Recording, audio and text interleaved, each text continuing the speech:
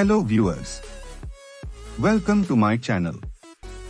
The Tech Labs. Today's video focuses upon network monitoring tool.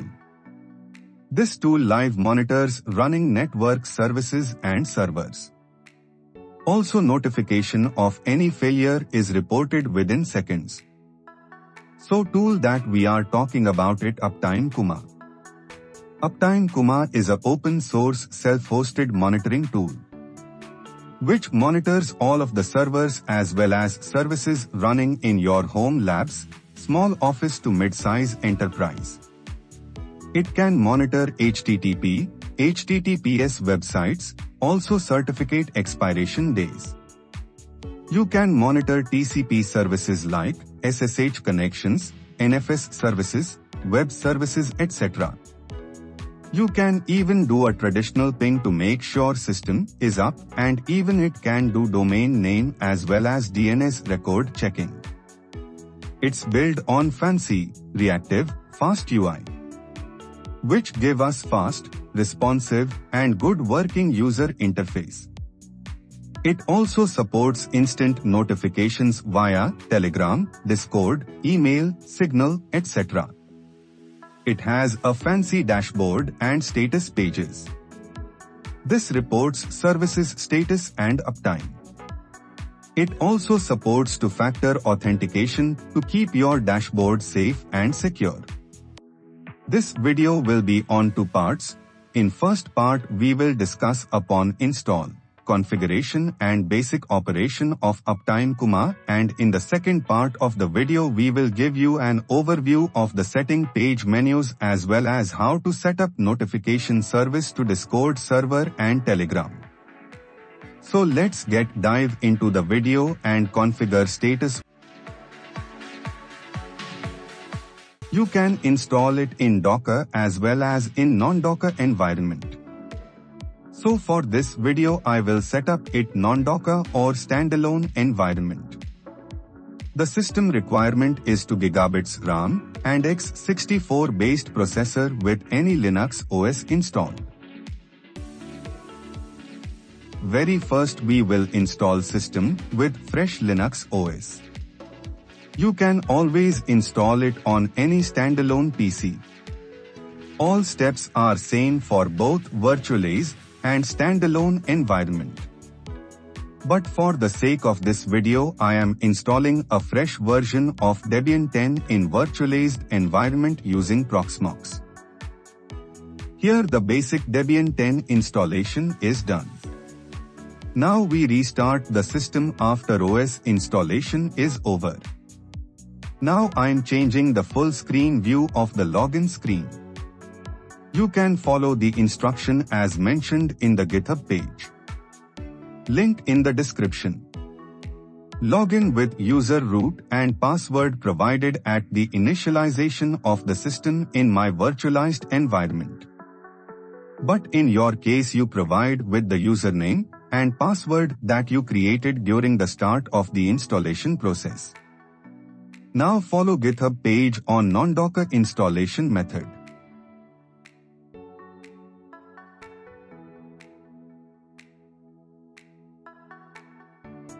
Here we update and upgrade repositories and packages to our fresh installation of Debian. Then we are installing packages that are required for the setup to run.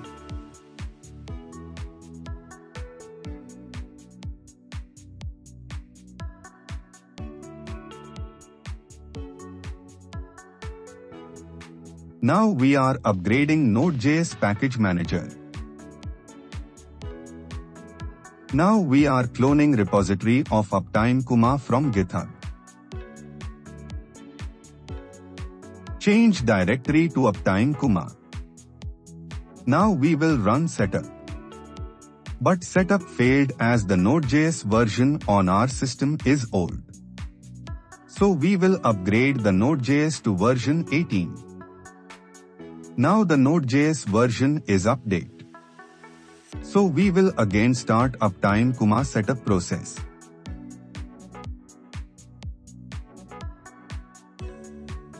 Now if you want to test then you can use option 1. But I want to run this service and use uptime Kuma service to start even when system retards. So we will go with option 2 and auto start PM2 on reboot. So we will follow these steps. Finally uptime Kuma server has started.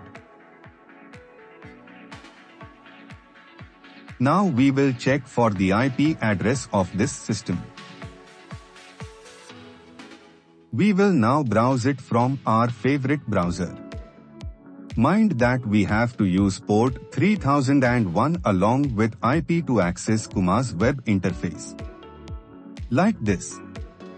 When web console open, we will create our first admin user and password from this web console.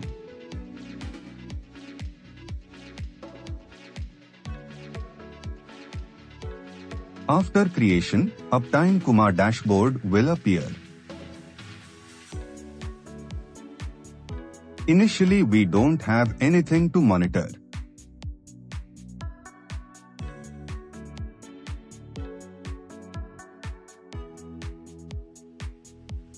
Now click on Add New Monitor, select the monitor type. First we will set up our Proxmox's HTTPS access monitor. I'm copying the IP and port from this screen. Now paste it as shown in the video friendly name is by which we identify it on dashboard. So we provide it as Proxmox. By default heartbeat intervals, that is the check interval, which is set up to 60 seconds. Since this is a secure URL so we will ignore the TLS SSL error. Now see that the server is added with success message. On viewing the details of this monitoring event, by showing message as OK is flashed in green on the screen. We can also check for expiry of SSL certificate days. Now click on the top right side dashboard button to view complete quick stats of dashboard.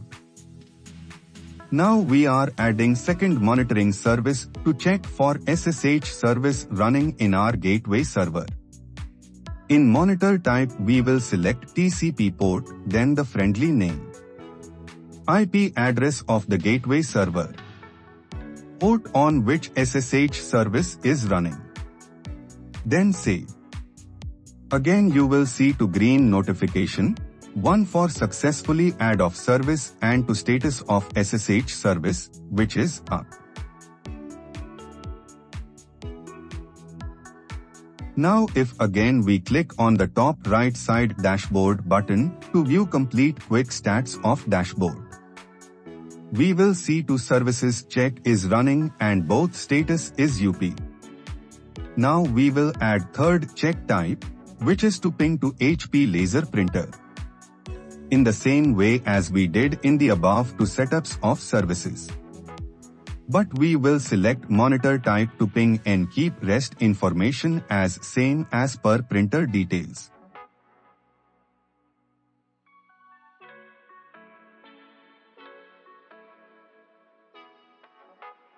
We can see three service checks are running and all status are UP. Now I'm going ping into the printer as to show that it is connected. And also will remove the network cable to show that printer has lost connectivity. See the ping request is being replied. Now I'm pulling out the network cable from the printer and you will see. Error 1 request timeout. Then you will see to error of destination host unreachable. You'll also see the same error is also detected by Uptime Kuma in red notification as well as one in down column. Now I'm plugging back the printer network cable. In few seconds it will detect that the printer is connected and a green notification off. Service is UP is flashed on the screen. It takes 20 seconds to recheck the status, as during the time of initialization of the monitor we have set it to its default value of 20 seconds. This is how You can further add resources to monitor to your Uptime Kuma server and can see all of them in one single dashboard. Hope this video helped you in understanding the initial setup and configuration of Uptime Kuma. In the next video, I will give you an overview of the setting as well as how to set up notification service to Discord server and Telegram. Support by like, share and subscribing to the channel. Thank you.